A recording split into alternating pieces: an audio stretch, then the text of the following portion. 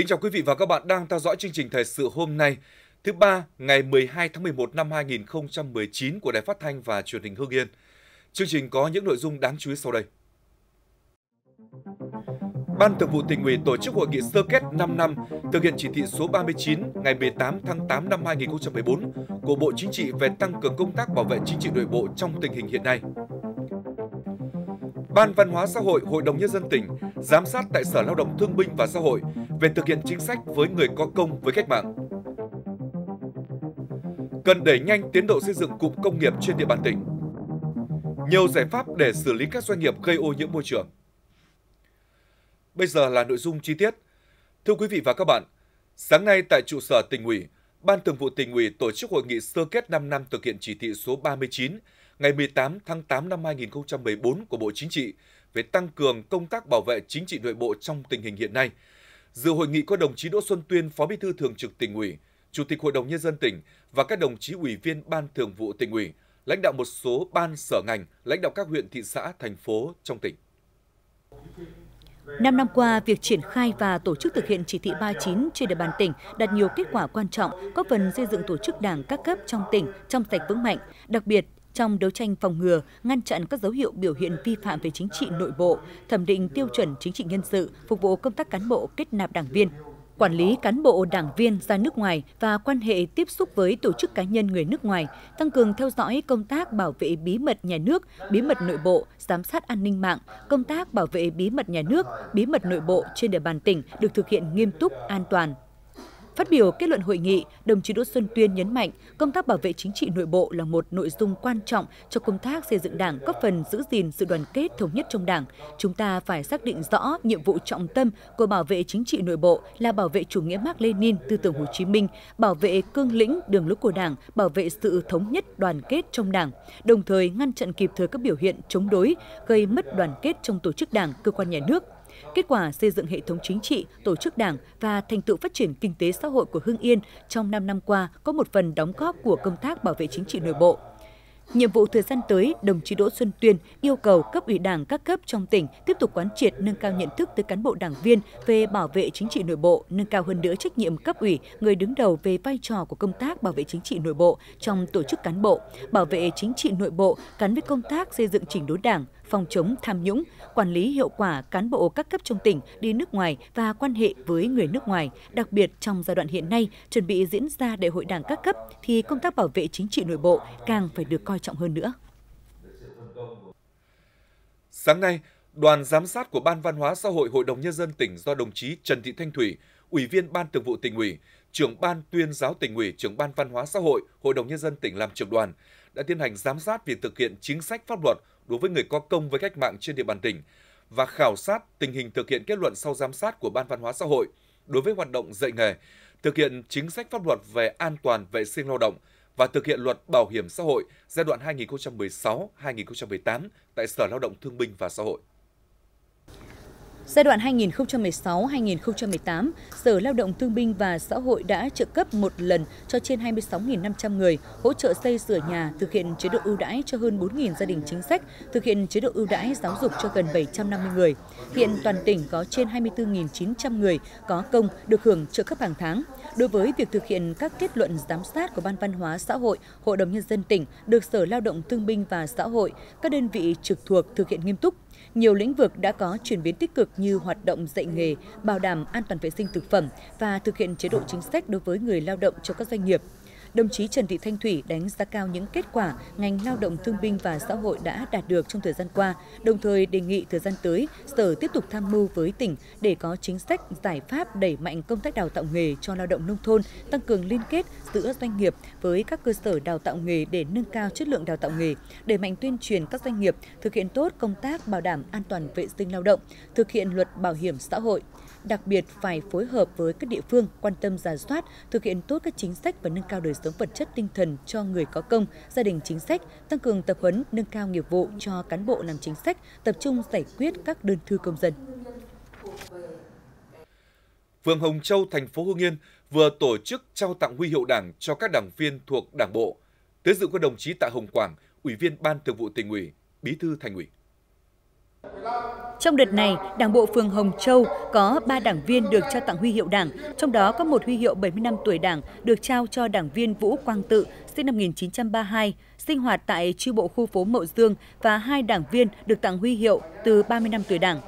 Bí thư Thành ủy Hưng Yên đánh giá cao những đóng góp của các đảng viên đối với sự nghiệp xây dựng và bảo vệ Tổ quốc, đồng thời chúc các đảng viên sức khỏe, tiếp tục nêu cao tinh thần trách nhiệm gương mẫu, vận động người thân chấp hành tốt chủ trương chính sách pháp luật của Đảng, Nhà nước, xây dựng thành phố ngày càng văn minh hiện đại.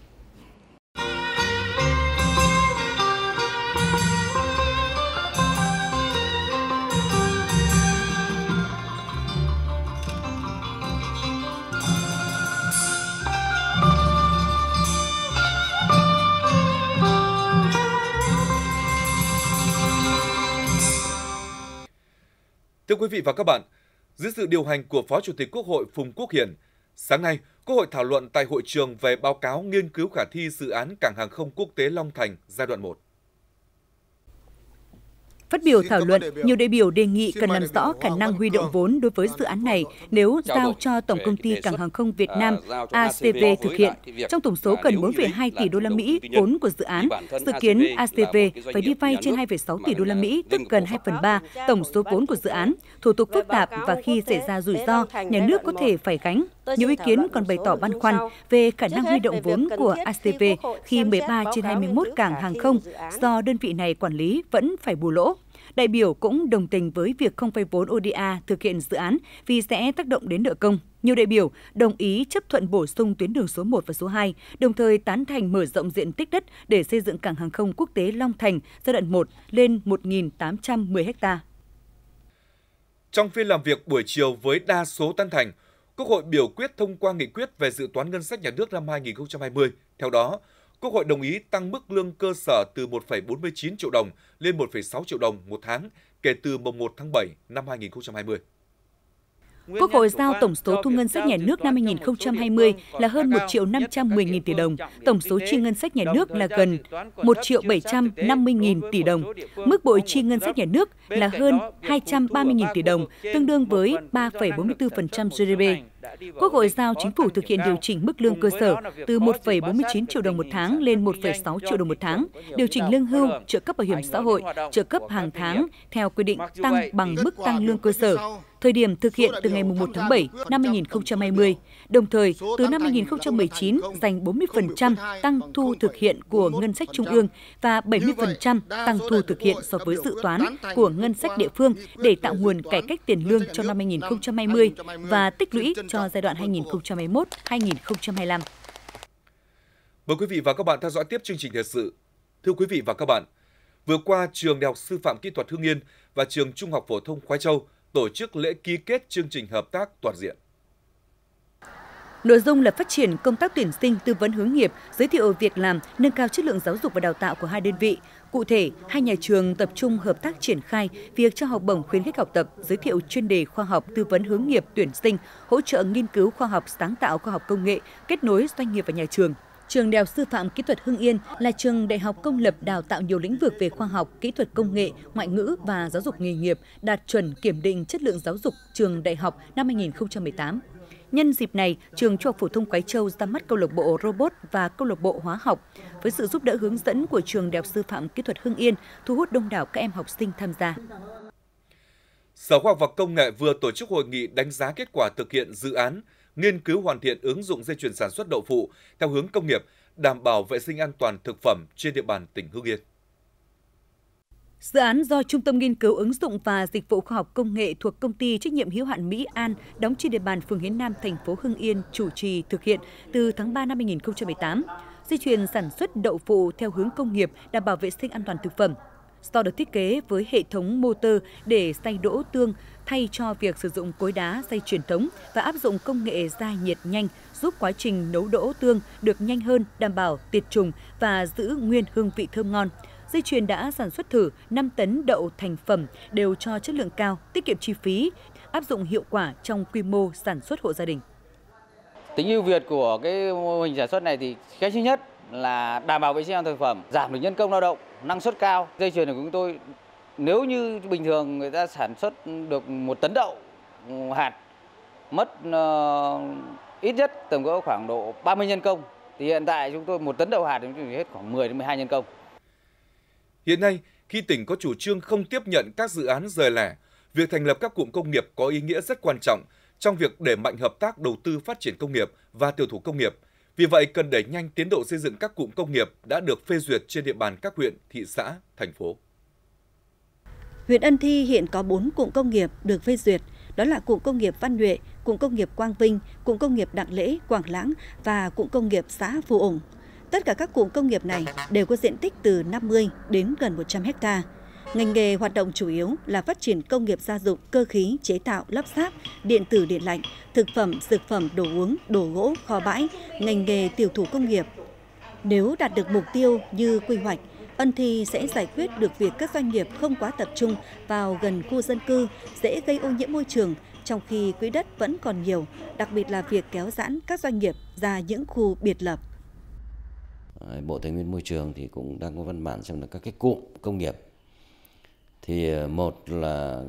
là là cái hướng dẫn để chúng tôi có cái quyết định thu hồi đất để được phép là thu hồi đất. Cái thứ hai là cái hướng dẫn rõ là các cái cụm về chính sách đất đai, khi mà các doanh nghiệp trong cụm thì ờ, được định giá cái đất, tỉnh định giá cái đất, hay là phải đấu giá đất để thuê, đấu giá để thuê thuê thuê thuê thuê thuê đất. Thì hai cái này đang còn chờ chính sách một số hợp tác xã làng nghề của tỉnh cũng rất mong muốn cho các xã viên doanh nghiệp ra thuê đất tại các cụm công nghiệp được quy hoạch, đặc biệt là các ngành nghề dễ gây ô nhiễm môi trường. Bên cạnh đó là các doanh nghiệp mới thành lập, các nghề có quy mô và tính chất nhỏ, chưa có điều kiện để thuê diện tích lớn. Nhân dân là sản xuất trong nhà là không đảm bảo cái môi trường, cho nên là anh em tôi là muốn đề nghị tỉnh là sớm phê duyệt cái cụm công nghiệp tạo điều kiện cho bà con ra cái cụm công nghiệp để mà sản xuất À, một là tập trung cái quản lý cho nó tốt hai là tránh được cái ô nhiễm môi trường các nhà đầu tư là sớm uh, triển khai là cái, cái, cái hạ tầng để cụm công nghiệp để tiến tới cho bà con sớm ngày nào là là bà con phấn khởi ngày đó. Tỉnh Hưng Yên đang quy hoạch 59 cụm công nghiệp với tổng diện tích hơn 3.000 ha. Trong đó, giai đoạn đến năm 2020 là 33 cụm công nghiệp với diện tích 1.400 ha hiện thu hút được 536 dự án đầu tư vào cụm công nghiệp. Có 11 cụm công nghiệp đạt tỷ lệ lấp đầy 30%, 4 cụm đạt tỷ lệ 60 đến 80% và 4 cụm đạt tỷ lệ lấp đầy 100% diện tích. Các ngành chức năng của tỉnh đang có nhiều giải pháp để đẩy nhanh tiến độ phê duyệt các cụm công nghiệp. Hiện nay trên địa bàn tỉnh thì có 3 huyện đã đạt được tiêu chí, đó là Văn Lâm thì đã đưa được cụm Minh Khai vào đi vào hoạt động Phú Cơ à, và Ân Thi thì mỗi huyện thì đã mời gọi một số các nhà đầu tư về thì công thương cũng đã phối hợp các ngành đang thẩm định, hồ sơ đăng ký các nhà đầu tư theo quy định của pháp luật để trình ủy ban tỉnh à, tiếp tục à, nghiên cứu để tiếp nhận các nhà đầu tư về đầu tư cái hạ tầng cụm công nghiệp trên địa bàn tỉnh. Theo chỉ đạo của tỉnh là không tiếp nhận các dự án rời lẻ. Đấy ảnh hưởng đến cái, cái môi trường đầu tư cũng như môi trường. Chính vì vậy chúng tôi cũng cùng với ngành công thương đã tham mưu an tỉnh thực hiện nghị định số 8 đã ra quyết định 25 của an tỉnh là chính sách ưu đãi đầu tư về hạ tầng giao thông điện và cấp thoát nước. Đây là một chính sách ưu tiên cho cái hạ tầng cho cụm nghiệp kêu gọi các nhà đầu tư. Phát triển cụm công nghiệp trên địa bàn tỉnh Hưng Yên là một trong những nội dung cụ thể hóa nghị quyết số 07 về chương trình phát triển công nghiệp tiểu thủ công nghiệp giai đoạn 2016-2020, định hướng đến năm 2025 của tỉnh ủy. Trong đó, Ủy ban nhân dân tỉnh đã chỉ đạo các cấp các ngành triển khai với những kết quả bước đầu là thành lập phê duyệt quy hoạch tỷ lệ 1 trên 500 và mời gọi các nhà đầu tư vào triển khai xây dựng hạ tầng kỹ thuật cụm công nghiệp với mong muốn cụ thể hóa các hướng dẫn của luật để không chỉ hoàn thành mà sớm đưa các cụm công nghiệp vào khai thác, tạo thuận lợi cho các doanh nghiệp nhỏ và vừa, các ngành nghề tiểu thủ công nghiệp nông thôn vào hoạt động.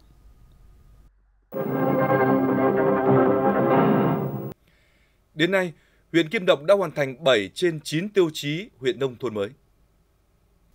Sau hơn 9 năm triển khai thực hiện chương trình xây dựng nông thôn mới, huyện Kim Động đã đạt được những kết quả nổi bật như nâng cấp và sửa chữa trên 300 km đường giao thông, trên 140 phòng học, 70 công trình văn hóa cấp xã, cấp thôn, thu nhập bình quân đầu người ước đạt trên 50 triệu đồng một người một năm.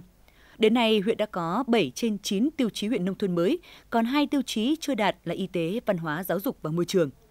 huyện Kim Động đang tập trung huy động nguồn lực xây dựng cơ sở vật chất văn hóa, cải thiện điều kiện vệ sinh môi trường tại các cơ sở sản xuất kinh doanh, đồng thời nâng cao các tiêu chí đã đạt được, phấn đấu hoàn thành 9 tiêu chí huyện nông thôn mới trong năm 2019. Nhằm tránh tình trạng bỏ hoang diện tích đất nông nghiệp, trồng cây vụ đông, thời gian qua huyện Ân Thi đã kịp thời hỗ trợ, tạo điều kiện thuận lợi khuyến khích bà con tích cực sản xuất. Huyện Ân Thi đã chủ động sớm xây dựng phương án, kế hoạch sản xuất cây vụ đông nhằm đảm bảo về thời vụ và cơ cấu gieo trồng, kịp thời hỗ trợ 300 triệu đồng cho các hộ trồng ngô yên tâm về việc mua giống. Mặt khác, cơ sở hạ tầng kỹ thuật phục vụ sản xuất nông nghiệp, nhất là hệ thống thủy lợi, giao thông nội đồng, ngày càng được đầu tư hoàn thiện. Hiện nay, các kênh mương đáp ứng tốt lượng nước tưới cho cây trồng. Vì tập trung phát triển được nhiều cánh đồng mẫu lớn, nên việc sản xuất và tiêu thụ của bà con thuận lợi. Đến thời điểm này, toàn huyện đã trồng được gần 1.200 ha đạt trên 90% kế hoạch. Bên cạnh các cây vụ đông chủ lực như bí các loại ngô, khoai tây, hiện nay các địa phương tiếp tục mở rộng diện tích trồng cây su hào, bắp cải súp lơ, rau cải và rau gia vị. Trừ chi phí, mỗi sào trồng dưa vụ đông sẽ cho thu lãi từ 2,5 đến 4 triệu đồng. Thưa quý vị và các bạn, từ đầu năm đến nay, các ngành chức năng đã thẩm định và tham mưu cho Ủy ban Nhân dân tỉnh từ chối tiếp nhận 11 dự án có nguy cơ gây ô nhiễm môi trường và các khu cụm công nghiệp trên địa bàn tỉnh. Chủ yếu là những doanh nghiệp liên quan đến lĩnh vực giặt mài, hóa chất, sản xuất giấy, bìa cắt tông. Đây là quan điểm chung của tỉnh trong tiếp nhận đầu tư. Mục tiêu là chỉ tiếp nhận các doanh nghiệp sản xuất sản phẩm sạch có công nghệ hiện đại, ưu tiên các doanh nghiệp đầu tư vào lĩnh vực chế biến nông sản và nộp ngân sách ổn định cho tỉnh. Đến nay, Hưng Yên đã thu hút 1.928 dự án đầu tư. Năm nay, dự kiến giá trị sản xuất công nghiệp ước đạt gần 220.000 tỷ đồng, tăng 12% so với năm 2018.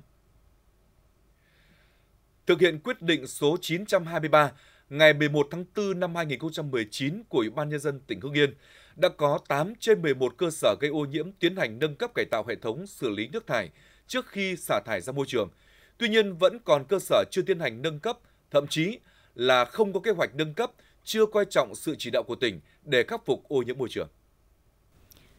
Công ty Hafulico đóng trên địa bàn xã Vĩnh Cúc huyện Văn Giang và công ty Agrifit đóng trên địa bàn xã Ngọc Lâm, thị xã Mỹ Hào là hai trong số 8 đơn vị vừa được Ủy ban nhân dân tỉnh đưa ra khỏi danh sách gây ô nhiễm môi trường năm 2018 theo quyết định số 2506 ngày 31 tháng 10 của Ủy ban nhân dân tỉnh.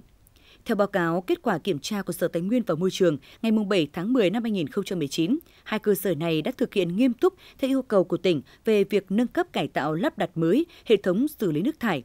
Cụ thể, công ty Agrifit đã đầu tư mới công nghệ xử lý sinh học AAO kết hợp với bể lọc công suất 15 mét khối ngày đêm. Còn công ty Hafulico đầu tư hệ thống công nghệ Yukasao của Nhật Bản với công suất 16 mét khối ngày đêm. Chúng tôi xác định không chỉ là vấn đề lợi nhuận mà muốn phát triển bền vững thì chúng tôi phải đi cùng với quyện lời cộng đồng đó là bảo vệ môi trường. Không thể chúng ta vô trách nhiệm mà bỏ qua những cái quy định về bảo vệ môi trường. Còn với ba cơ sở chưa được đưa ra khỏi danh sách gây ô nhiễm môi trường thì hiện công ty sản xuất kinh doanh Việt Hưng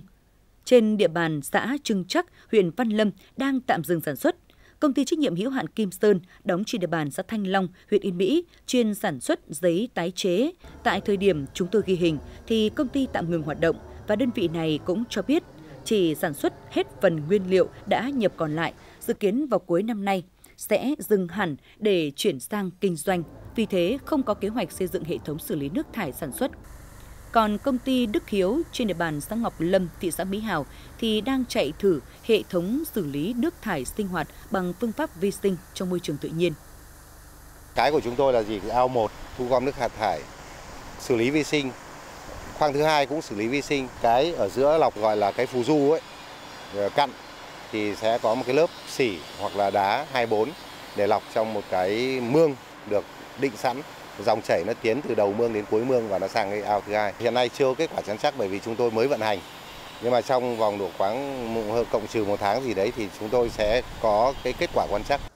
Thực tế trên cho thấy việc kiên quyết ngay từ đầu đối với các dự án đầu tư vào địa bàn về công tác môi trường là hết sức cần thiết. Đối với những dự án cũ, cần tăng cường kiểm tra, giám sát nhất là các cơ sở sản xuất nhỏ lẻ, các khu dân cư nhằm kịp thời phát hiện để có biện pháp xử lý. Mặt khác, tăng cường lắp đặt hệ thống quan trắc đối với những đơn vị đã được phép xả thải, có biện pháp kiên quyết với những cơ sở cố tình hoặc chậm trễ trong việc xử lý ô nhiễm.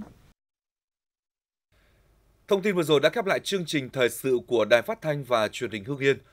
Cảm ơn quý vị và các bạn đã quan tâm theo dõi. Xin kính chào tạm biệt và hẹn gặp lại.